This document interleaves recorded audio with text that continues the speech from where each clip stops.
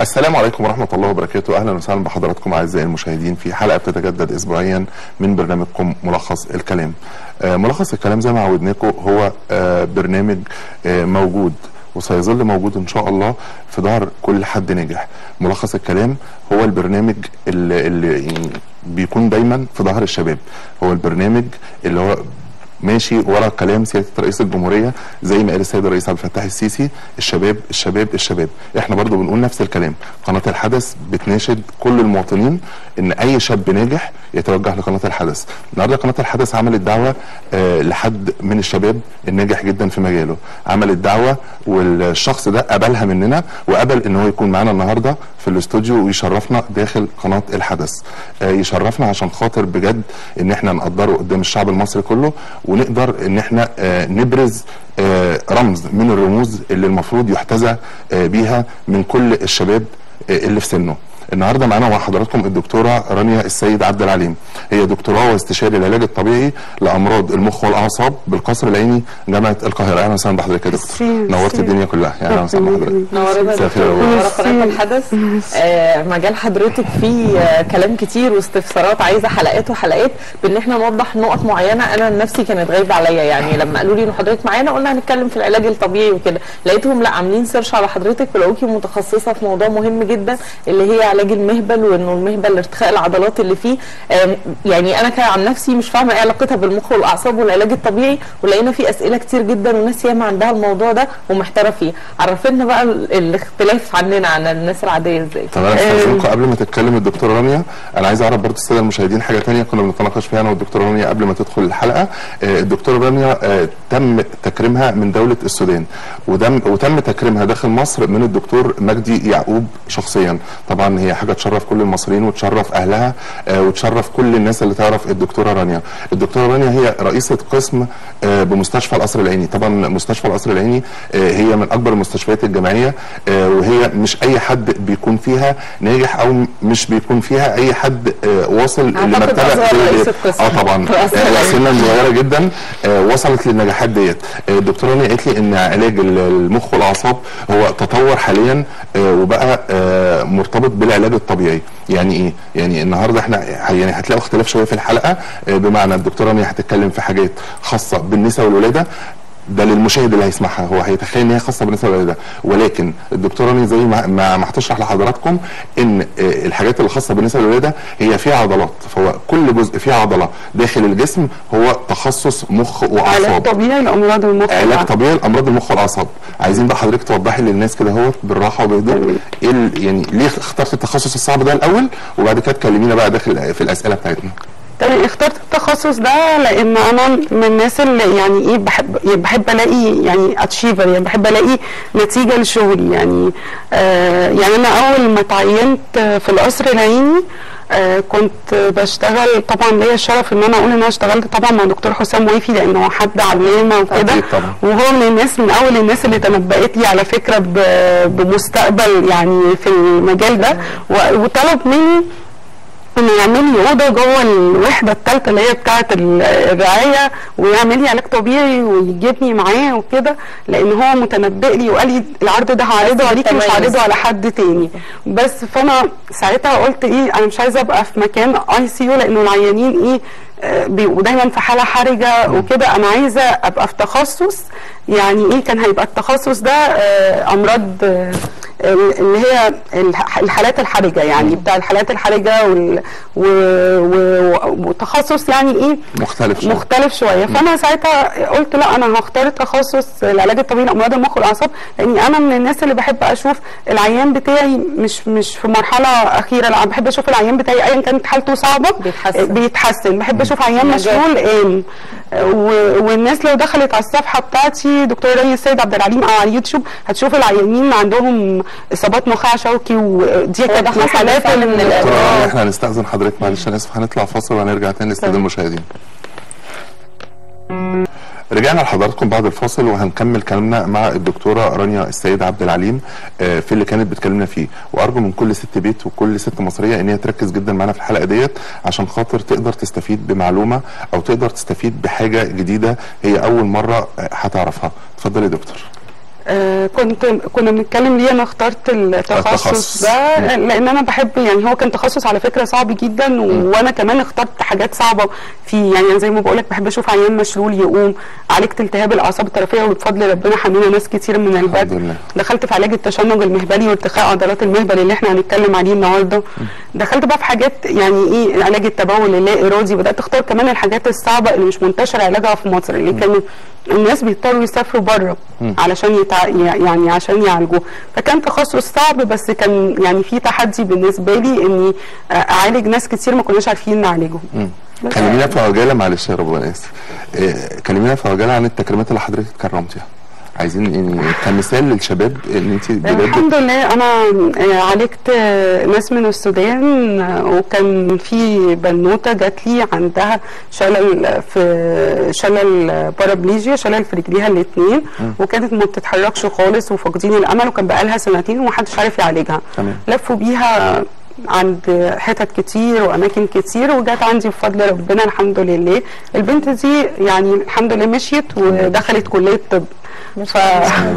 فجابوا لي يعني الحمد لله تكريم ساعتها من الدولة نفسها من دولة السودان وكده وكرموني لأن هم آه يعني البنت دي كانت مامتها جاية لي بتقول لي أنا مش عايزة حاجة مني غير إنها تدخل الحمام. فهي قامت ومشيت وراحت الكلية و- ودخلت طب دي حاجة مصر. كلها تفخر بيها مش مش السودان بس. آه ده طبعا التكريم اللي أنا بعتز بيه قوي وشرف وسام على صدري طبعا دكتور آه، مجدي يعقوب آه، حبيب الملايين آه، الراجل ده قد إيه جميل إن هو يجي بنفسه آه، لحد عندي العيادة ويكرمني ويعمل لي فيديو يصورني ويصور معايا الحالة.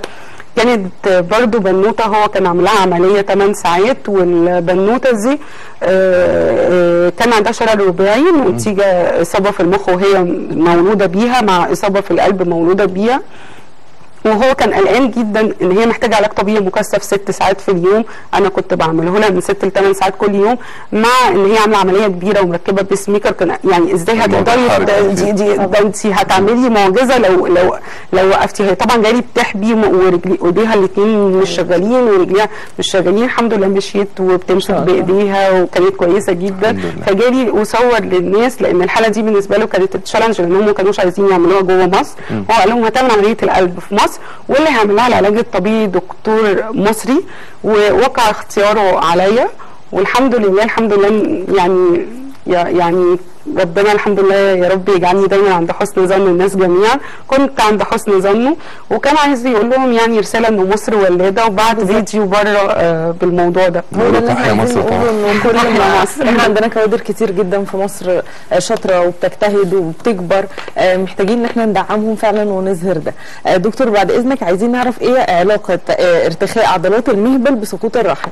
وهل ليها علاقة في العلاقة الزوجية بين الراجل وزوجته يعني إيه الأول ارتخاء في عضلات المهبل آه، ده بيبقى ارتخاء ضعف في عضلات قاع الحوض أدى إلى سقوط الجدار الأمامي أو الخلفي للمهبل.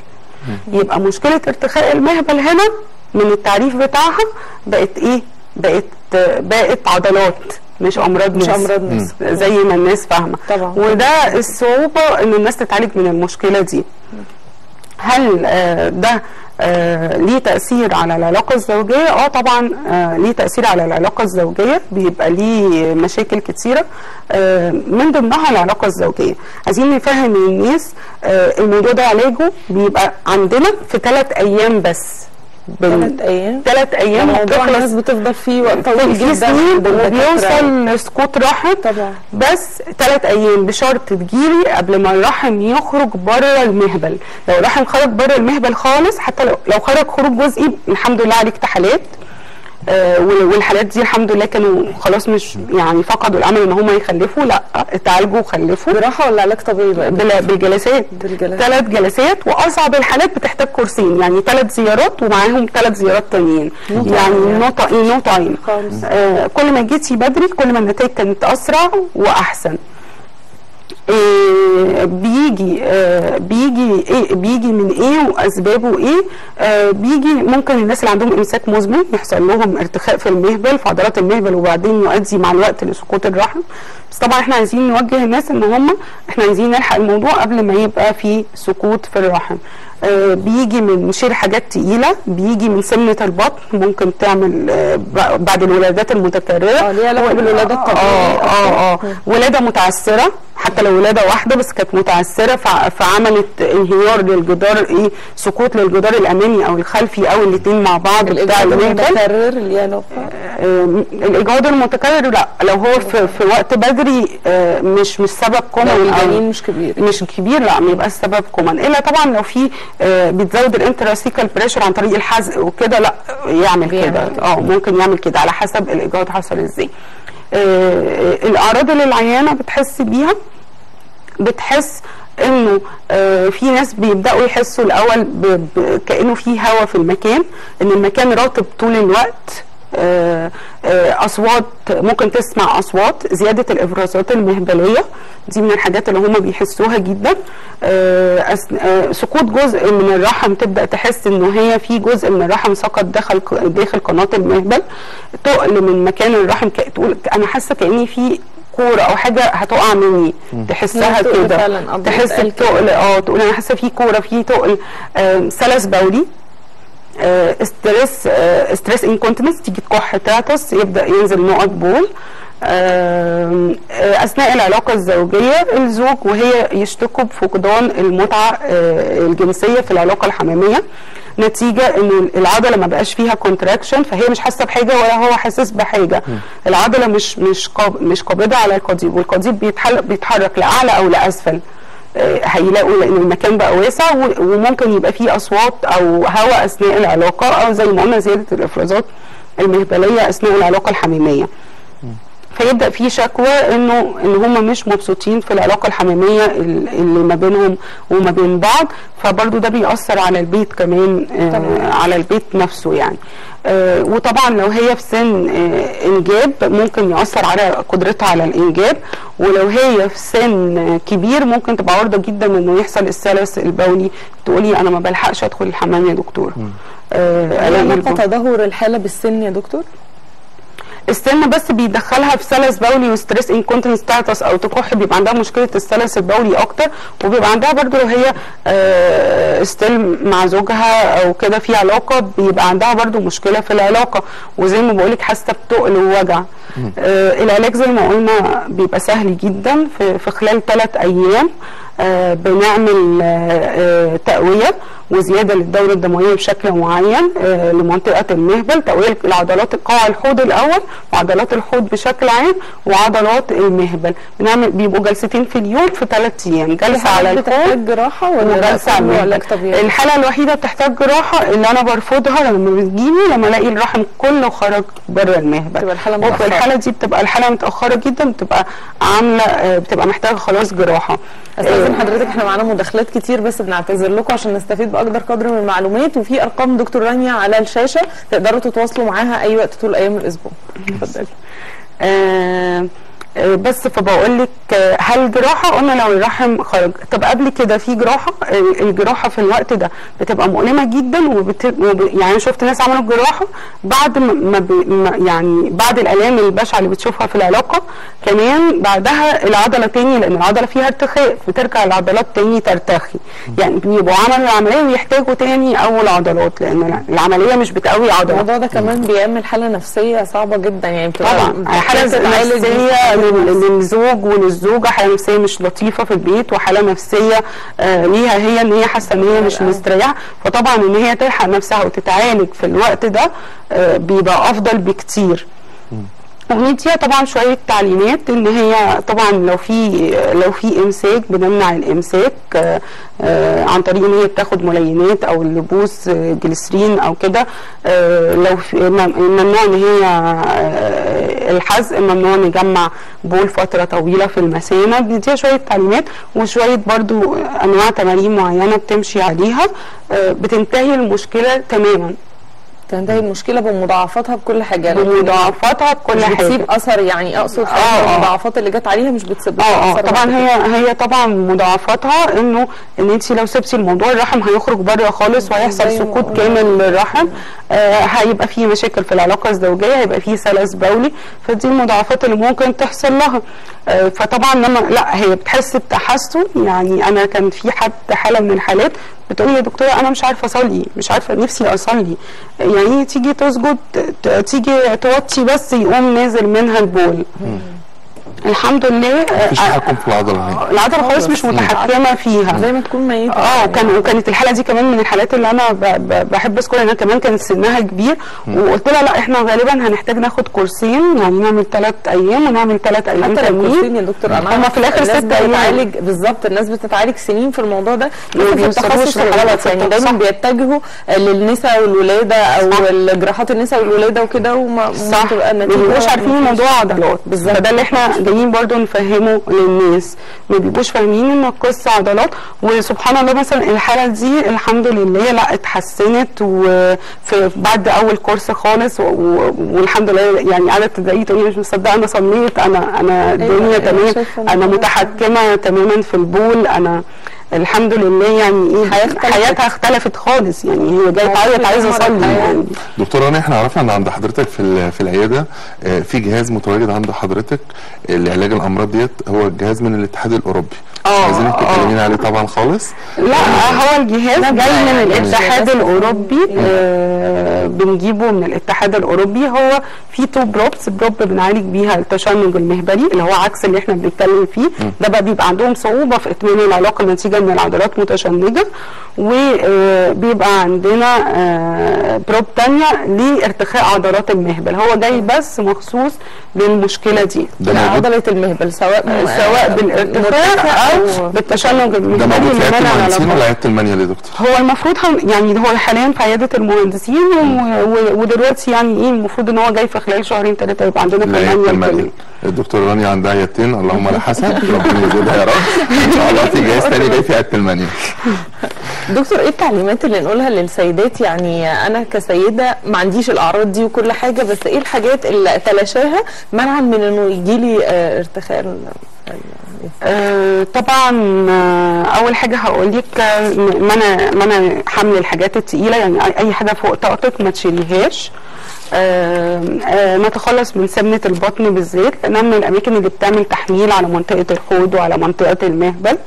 فنتخلص من سمنة ال- البطن دايما آه كل وطبعا دي بنسميها ال central obesity بتدخلنا في مشاكل كتير زي السكر وتأثر على القلب وتأثر في حاجات كتيرة جدا.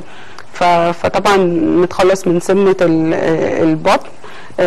لو عندنا إمساك نتعالج منه بنبقى فاهمين إن هي حاجة بسيطة الامساك ده بس بيعمل لا مشاكل مشاكل جدا. كبيرة جدا جدا يعني أنا برضو جات لي حالة قعدت أدور إيه السبب الأساسي لقيت إن هي عندها الإمساك. إمساك مزمن. طب هل دكتور ما ولدت مرة واحدة بس وكان عندها إمساك مزمن. طب هل لو الحالة عندها أمراض مزمنة وجالها ارتخاء المهبل آه، ده بيأثر عليها في العلاج إنه بيبقى أبطأ من الحالات التانية ولا الأمراض المزمنة ملهاش علاقة؟ خالص خالص. آه، بيخفوا بسرعة جدا وبيحصل تحكم في عضلة الحوض وفي عضلة المهبل وبيحسوها بقى في كل حاجة. طبعا بنمنع العلاقه الزوجية أثناء فترة العلاج.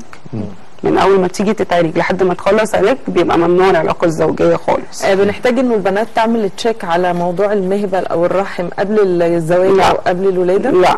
قبل عشان الزواج تقرر إنه مثلا أنا حالتي لو ولدت طبيعي تتدمر أكتر أو لا أنا ليا لا هو ده المفروض رأي دكتور رؤيه الدكتور بقى أمراض النساء هو لو لقي الولادة متعثرة أو حجم الرأس كبير مفيش داعي يعذبها بقى ده، آه لا لازم نستنى لا الطبيعي. لا أفضل. وبعدين ده كمان بيدخلنا في مشاكل تانية بقى لل- للجنين اللي هو ال cerebral palsy اللي هو ال CP اللي هو الشلل الدماغي نقص الأكسجين في المخ فيدخلها في مشاكل أكبر كمان ممكن يأثر على الجنين. فلو لقينا الولاده متعثره لا ملوش. لازمة. المخاطرة يعني وبعدين يعني الولادة القيصرية يعني بقت متوفرة وسهلة والناس كلها بتعرف تعملها. فليه نعرض المريضه عايزين للخطر قبل الختام حضرتك تكلمي السيدات المصريات والبنات إزاي يحموا نفسهم من الأمراض دي. آه عايزة أقول إن انت مجرد أما تحسي بتقل آه في المهبل أو كأنه حاجة ساقطة منك أو بدات تحسي بسلس بولي أو لاحظتي خروج حاجة في قناة المهبل مش طبيعية انت مش متعودة عليها تسرعي بالعلاج. صدقوني دايما كل ما بدأنا بدري كل ما. النتائج بتبقى أفضل. كل ما المشكلة حل سهل سهل حلها. آه فبنوصل لنتائج أفضل وأحسن. عايزين حضرتك دايما تبقي متخصصة في المواضيع المميزة محتاجين إن إحنا نتثقف في حاجات كتير فاهمينها غلط بالذات في الأمراض آه، أمراض النساء والولادة والمهبل والرحم والحاجات دي لأن فيها تخصص وعايزين نعمل حلقة بقى على التشنج لكن الوقت مش. هي- عايزينها قبل ما تاخد بقى. دكتوره رانيا زي ما اعطيتي نصايح في مجالك عايزين نصيحة من حضرتك لشباب مصر شباب وبنات آه إزاي انت نجحتي وإزاي هم يقدروا النجاح مش في الطب بس النجاح في الحياة العلمية والعملية نصيحة أخيرة للشباب الاجتهاد والمثابره و- والصبر. آه ولو انت عندك هدف أو لو انت عندك هدف آه اوعى تتنازل عنه. آه ما ضاع حق وراءه مطالب. يعني اجتهدي وز- أو اجتهد واصبروا وإن شاء الله هتحققوا أحلامكم. آه وقبل أي حاجة طبعا نستعين بالله ونبعد عن أي حاجة فيها آه معاصي علشان في الآخر ربنا اللي بيبقى دكتورة فاهم. رانيا السيد عبد العليم فخورين بحضرتك جدا ومبسوطين إنك كنت معانا في ضيافة قناة الحدث. بشكركم ويا رب دايما متفوقين وأحسن ناس في الدنيا. امسك في حلمك هتوصل اللي أنت عايزه. أشوفك في حلقة جديدة إن شاء الله الأسبوع الجاي. من ملخص الكلام.